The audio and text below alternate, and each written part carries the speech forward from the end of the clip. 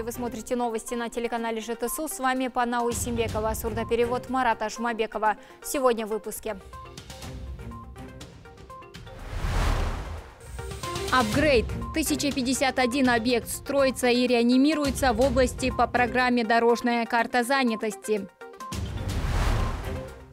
Благоустройство курортных зон. В селе Акши Алакольского района строится долгожданный водопровод. Низкий поклон. В Памфиловском районе день рождения празднует единственный ветеран Великой Отечественной. Свыше 1 миллиона предпринимателей остались без заработка из-за COVID-19. Ущерб, нанесенный экономике, оценивается миллиардами. Этой теме посвятили седьмой съезд Национальной палаты предпринимателей страны под председательством главы государства Касымжо Марта Токаева. Мероприятие впервые прошло в онлайн-формате. По словам президента, несмотря на огромный урон, нанесенный бизнесменам, своевременно принятые антикризисные меры помогли стабилизировать ситуацию. В их числе снижение налогов и отсрочка по кредитам. Кроме того, с января текущего года объявлен мораторий на проверку субъектов малого и среднего бизнеса. Количество незапланированных посещений снизилось в 8 раз. Немаловажную роль в поддержке граждан сыграла и дорожная карта занятости. На ее реализацию выделено свыше 1 триллиона тенге. Благодаря ей создано порядка 21 тысячи рабочих мест. Программа уже доказала свою действенность подчеркнул глава государства. В связи с этим ДКЗ будет действовать и в 2021 году. На эти цели выделят еще 400 миллиардов тенге. В завершении съезда Национальной палаты предпринимателей Касым Жомар поручил наладить экспортооборот.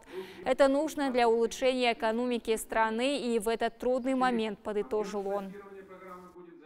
Мы должны увеличить объем несырьевого экспорта до 29 миллиардов долларов и имеющие экспортный потенциал.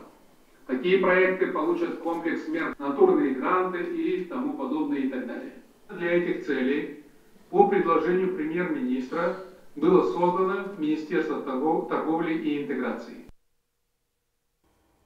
Дорожная карта занятости стала решением одной из главных проблем – ремонта дорог. Десятки километров внутрипоселковых и городских транспортных артерий в области уже застелены новым асфальтом. Оценить эффективность госпрограммы и проехать по качественным дорогам уже смогли жители моногорода Текели и Коксусского района. 40 лет ждали ремонта дорог жители Текели. Исполнить давнюю мечту местных автомобилистов помогла дорожная карта занятости. Сразу 13 улиц города проходит в этом году капитальный ремонт. Миллиард тенге выделен на дорожные работы. Деньги будут освоены в срок, заверили подрядчики. И часть объектов будут сданы уже до конца этого года. Октябрь 30 октября, надеемся, уже сдадим объект в эксплуатацию. Сейчас мы занимаемся сбором документации. Мы пошли навстречу людям, живущим здесь. Сделали каждому дому асфальтированные подъезды. Касаемо программы дорожной карты, мы трудоустроили 32 человека. Дорожная карта занятости стала не просто главной госпрограммой по преображению населенных пунктов. Она стала шансом для многих получить постоянный заработок. Почти все работники на стройплощадках города – люди, трудоустроенные через центр занятости. Не потеряют они работу и завершения всех проектов. На Новый год у местных властей куда большие планы по ремонту городских дорог. Капитальный и текущий ремонт пройдут более 40 улиц.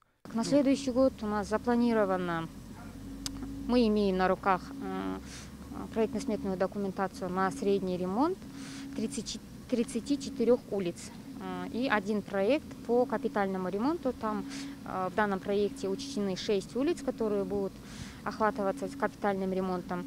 И сумма, э, которую мы будем, э, на которую мы будем заявляться, составляет 1 миллиард 580 миллионов. Оценить качество новых дорог уже смогли и жители Куксусского района. 47 внутрипоселковых улиц отремонтированы в этом году по дорожной карте занятости. Еще на 11 идет капитальный ремонт.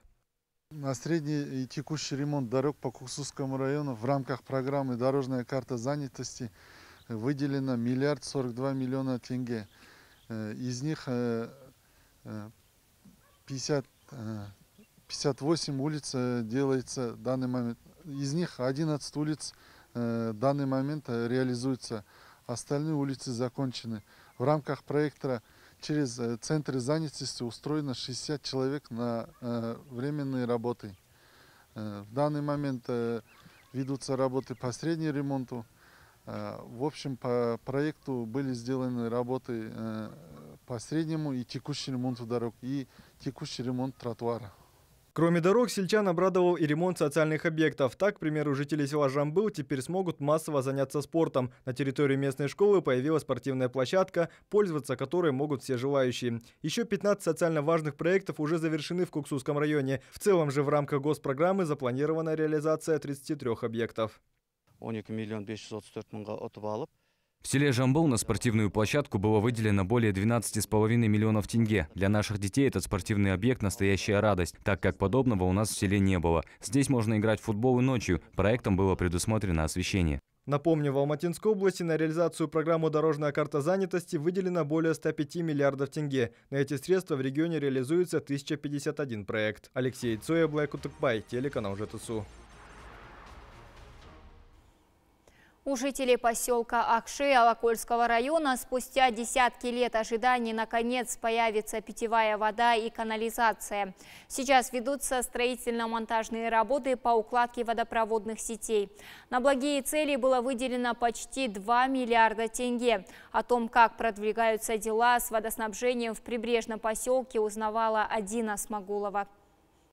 Благодаря туристической привлекательности озера Лаколь в прибрежном поселке Акши стремительно развивается инфраструктура. Новый амфитеатр, отремонтированы с нуля школы, детсады и дом культуры, приведены в порядок дороги и освещение. Единственной загвоздкой в благоустройстве прибрежной зоны было отсутствие питьевой воды. В детстве я думал, что как только вырасту, перееду в более благоустроенный регион. Здесь не было никаких условий для нормального проживания. А теперь, когда на наш поселок обратили внимание, все изменилось. Сам я тоже прокладываю здесь трубы и очень рад, что в скором времени мы сможем обеспечить население водой. Мы проводим водопроводные трубы протяженностью 53 километра. 70-80% работы уже завершено. К августу следующего года мы уже планируем провести здесь воду. Логически, если будет вода, должна быть и система ее очистки и канализации. По расчетам проектировщиков, система в поселке Акши должна быть более 70 километров. Запланированный срок завершения ее строительства – сентябрь 2021 года. На сегодняшний день подготовлено около 40 километров траншей, уложено более 20 километров трубопровода.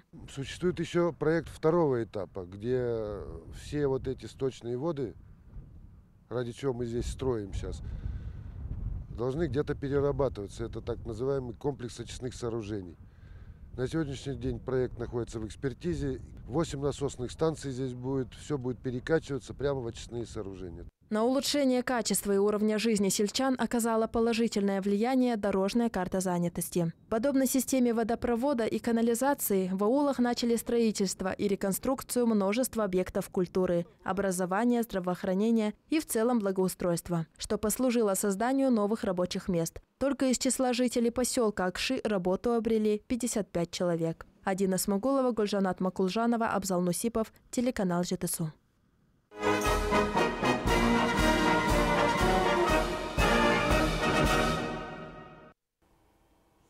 Последний герой. 95 лет исполнилось ветерану Великой Отечественной Сембеку Кожахметову. На сегодня он единственный живущий в Памфиловском районе живой свидетель огненных лет. Уроженец села Конрулен, сегодня ветеран живет в селе Коктал. Особые заслуги ветерана как в годы войны, так и его ратный труд в послевоенные годы земляки особенно ценили всегда. Ежегодно к Дню Победы и в день рождения Аксакала навещают земляки. Вот и в этот раз бойца Великой Победы с днем рождения поздравил Аким района. Почетная грамота и традиционный шапан – это лишь самая малая часть того уважения и почитания, которые выражают Сембеку Ата, его земляки и соотечественники. Почетный юбиляр – свидетель двух войн, призванный на фронт в 1942 году. Он участвовал в знаменитой Сталинградской битве и обороне Ленинграда, а в 1945 году стал участником войны с Японией. Домой ветеран вернулся лишь в 1951 и с того момента оберегал покой мирных граждан службой в системе внутренних дел. Воспитавший девятерых детей, 31 внука и шестерых правнуков, доблестный старец выразил благодарность за поздравления и благословил соотечественников на созидание и благополучную жизнь. Конечно же, всем последующим поколениям я желаю мирной жизни без войны. Война – это разрушение, это смерть, это горе. Пусть это никогда не повторяется на земле. Пусть будет созидание, благополучие, процветание и мир. Чтобы помнили, в честь 75-летия Великой Победы и 25-летия АНК в Доме дружбы города Талдкурган прошел вечер памяти ветерана войны Леонида Гирша. Почетный член ассамблеи ушел из жизни этим летом. В рамках встречи состоялась презентация последней книги, над которой он работал в последние годы. Все подробности в материале нашего корреспондента. «Эхо далекой войны» – двухтомник, в который вошли сочинения, проза и стихи различных авторов. Составителями книг, изданных к 75-летию Великой Победы, стали журналисты Елена Брусиловская и Людмила Мананикова. Идея создания такого сборника принадлежала ветерану войны, почетному члену Ассамблеи народа Казахстана Леониду Юзефовичу Гиршу. По мнению участников презентации книги, ее издание имеет огромное значение для истории и будущих поколений. Там собрано все о войне. Война – это было тяжелое испытание а, для страны и, естественно, для людей. То есть потери людские, которые невосполнимы, они были огромны. Вот в этом сборнике как раз об этом пишется. Мы должны, а, читая эти книги нашим детям и внукам, показывать, что в войне мы защищали свою землю, свое отечество. Мы ни на кого никогда не нападали. Леонид Гирш – полковник, почетный гражданин Алматинской области, член Ассамблеи народа Казахстана со дня ее основания, кавалер Ордена Красной Звезды и еще четырех орденов и 37 медалей. Он прошел войну с самого начала и до конца. В этом году его не стало. Участники встречи почтили минутой молчания память ветерана. Для многих из них он был не просто знакомым, а другом, человеком, который служил примером во всем. Он всегда был очень интересным собеседником. Его истории, воспоминания – его мнение по любому поводу можно было слушать часами. Сколько стихов он знал наизусть. Но вот больше всего меня всегда поражало его необычное, необычайное такое жизнелюбие, его активная жизненная позиция. Ему вот в хорошем смысле слова было до всего дела. Он интересовался и политикой, и культурой, и историей. Вообще очень сильный человек это, разговоров нет. Это мероприятие, которое сегодня проводится, очень умно, очень хорошо. А кого еще вспоминать, если не таких людей, как он? Леонид Гирш написал немало стихотворений и рассказов. За свою творческую жизнь он издал более десятка книг. Многие из них посвящены военной тематике. В рамках встречи состоялась выставка его сборников, показан документальный фильм, а также прозвучали музыкальные композиции о войне, в числе которых песня, написанная на стихи Леонида Юзефовича «Прохладные травы». По словам организаторов, презентация двухтомника, изданного в честь 75-летия Победы, в первую очередь была проведена в Алма-Атинской области. Теперь подобная встреча будет организована на республиканском уровне. Ведь истории своего народа должны помнить потомки. Надежда Белова, Габит Кабдрахман, телеканал ЖТСУ. Итоги деятельности за 2020 год были подведены сегодня Советом матерей при АНК Алматинской области. В связи с пандемией прошло онлайн-заседание. Стоит отметить, что в этом году это уже 18-е собрание Совета, которое организуется в дистанционном формате. Данная организация создана в области 8 лет назад. За то время значительно увеличился состав Совета. Сегодня в него входят более тысячи женщин со всех районов края ЖТСУ. Участники онлайн-собрания отчитались о проделанной работе и поделились планами на будущее. В целом в области реализуется 9 масштабных проектов. В регионах созданы школы молодых семей, родителей, а также школы одиноких матерей. С помощью медиаторов разрешаются семейные конфликты. В этом году в условиях пандемии частично в онлайн-формате были проведены конкурсы молодых семей, семинары, форумы, а также опрос среди жителей сельских округов, по итогам которого выбраны лучшие председатели районных советов матерей. Советы матерей работают в каждом селе. Каждая улица должна иметь свою маму, эта мама должна следить за порядком этой улицы, помогать молодым. Вот об этом мы сегодня говорили, и сегодня мы как раз и награждали тех победителей матерей сельского округа. Ну, в целом, э, я благодарна всем женщинам, членам Совета матерей. Они делают все возможное, чтобы сохранить молодые семьи, помочь им, так как они прекрасно понимают, сила нашего государства – это именно находится в этих молодых семьях.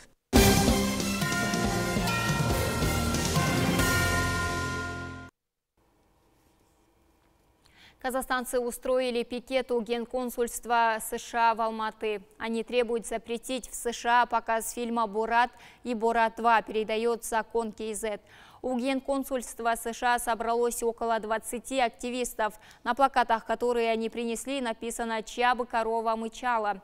Пусть прекратят оскорблять казахов, живущих в Соединенных Штатах и так далее. Собравшиеся положили героя фильма «Бурат» в гроб и укрыли флагом США. Они потребовали похоронить Бурата в США. Активисты подписали петицию и потребовали, чтобы письмо приняли сотрудники Генконсульства. Однако к ним никто не вышел. В ответ собравшиеся стали скандировать «Америка, позор!». Собравшиеся сообщили, что будут стоять у здания до тех пор, пока у них не примут петицию. Сделал подкоп, разломал стену. В Таразе преступник украл ювелирных украшений на 25 миллионов тенге. Грабитель оказался с репутацией. Его уже два года искали по всему миру. Подкоп в юбилейный салон в центре Тараза 49-летний мужчина спланировал заранее. Долго копал из подвала, а в одну из ночей разбил оставшуюся стенку и вынес из салона почти все золото. Вернуть похищенное хозяевам не удастся. Изделия вор переплавил в слитки, и по ним сейчас назначена экспертиза. В результате проведенного комплекса оперативно-розыскных мероприятий полицейские Тараза задержали подозреваемого. Им оказался 49-летний ранее судимый житель Карагандинской области. По данному факту начато досудебное расследование по статье 188 части 3 Уголовного кодекса Республики Казахстан. Угрожал ножом. Мужчина напал на женщину в подъезде в Павлодаре. Преступника задержали. Ограбление попало на камеру, сообщает закон КИЗ. На кадрах видно, как женщина стоит у лифта. К ней подходит мужчина в куртке с надетым на голову капюшоном. Через пару мгновений он выхватывает нож, замахивается. Женщина в испуге закрывается рукой, отступает в сторону. Нападающий забирает у нее из рук два пакета и уходит. Женщина идет за ним, что-то говоря. Мужчина вновь ей угрожает ножом, но позже уходит. Преступником оказался 35-летний павлодарец. Ранее он был неоднократно судим за аналогичные преступления. По результатам медицинского освидетельствования злоумышленник был в алкогольном опьянении средней степени. Говорится в сообщении пресс-службы МВД РК. Бюджет здравоохранения Алматинской области в этом году пополнен на 8 миллиардов тенге благодаря внедрению системы обязательного медицинского страхования. В результате он составил 124 миллиарда тенге. Такие итоги 9 месяцев текущего года подвело сегодня руководство Фонда социального медстрахования – Вплотную данная система начала работать с 1 января текущего года. Запланированная работа уже сегодня выполнена на 92%. По поручению главы государства в этом году через фонд были выделены средства на борьбу с коронавирусом. В частности, 4 миллиарда 700 миллионов пошли на выплату надбавок медицинским работникам. Более 3 миллиардов тенге выплачено на стационарное лечение пациентов. Около полутора миллиарда составили ПЦР-исследования. Эти услуги вошли в объем гарантированной бесплатной медицинской помощи. Стоит отметить, что сегодня около 50% населения области входят в число 15 льготных категорий граждан, получающих полный объем медицинской помощи за счет государства. Остальное население обязательно должно быть застраховано. Так, по итогам 9 месяцев 73% жителей Алматинской области, не входящих в льготные категории, являются участниками социального медицинского страхования. До конца года планируется довести этот показатель до 90%. Для этого в регионе ведется большая разъяснительная работа. Как вы знаете, до 1 июля а, был льготный период были все наши граждане условно застрахованными.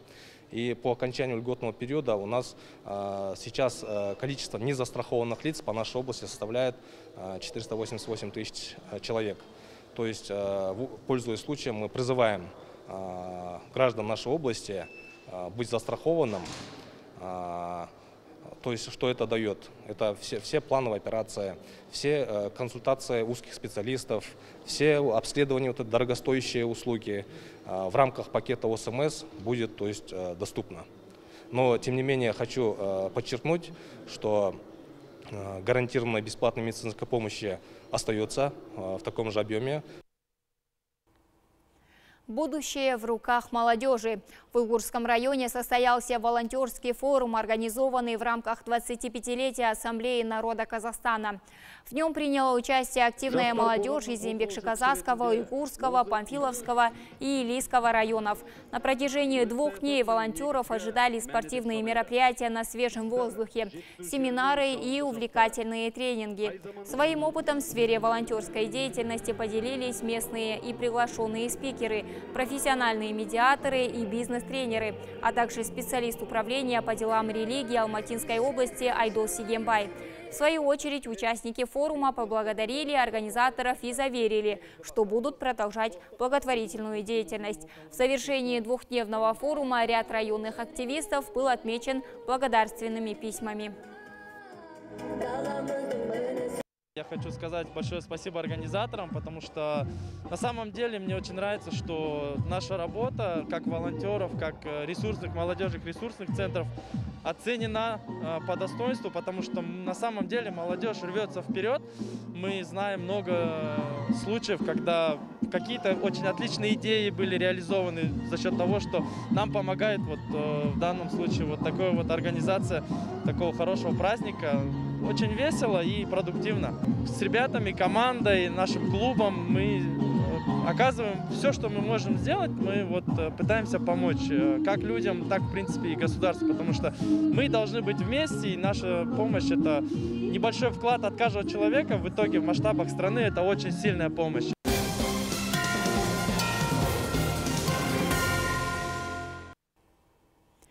Министерство обороны Азербайджана заявило о ракетном обстреле вооруженными силами Армении города Барда, расположенного на Карабахской равнине в 260 километрах от Баку. Сообщается об убитых, среди которых есть ребенок, раненых и разрушенной инфраструктуре. Армения сразу же опровергла свою причастность к обстрелу. В среду президент Азербайджана Ильхам Алиев заявил, что вооруженные силы страны взяли под контроль более 10 сел в четырех районах вокруг Нагорного Карабаха. Азербайджанское министерство обороны также обнародовало видеозапись авиаударов по предполагаемым армянским целям. Общий национальный карантин с полуночи пятницы и до 1 декабря вводят французские власти в связи с резким скачком эпидемии. Об этом объявил в среду вечером президент республики в специальном телеобращении. Граждан просят оставаться дома, покидая его лишь для закупок первой необходимости работы и посещения близких. В отличие от весеннего карантина, детские сады и школы останутся открытыми. Студентам университетов будет предложено по возможности перейти на дистанционное обучение. Будут также открыты дома престарелых, чтобы посещать родственников при строгом соблюдении санитарных мер. Рестораны и бары, торговые точки, не попадающие в список первой необходимости, закроют. Иран ведет строительство ядерного объекта в центре страны, в, на, в городе Натанзе. Об этом свидетельствуют спутниковые снимки, опубликованные в среду. Речь идет о подземном заводе по сборке центрифуг для обогащения урана. В июле подобный наземный объект был разрушен из-за пожара. Тегеран назвал инцидент саботажем. В Международном агентстве по атомной энергии сообщили, что осведомлены иранскими властями о строительстве завода.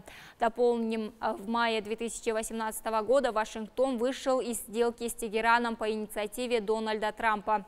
Его конкурент на выборах президента США Джо Байден выражает готовность вернуться к ядерному соглашению. На этом все. Спасибо за внимание. Всего доброго.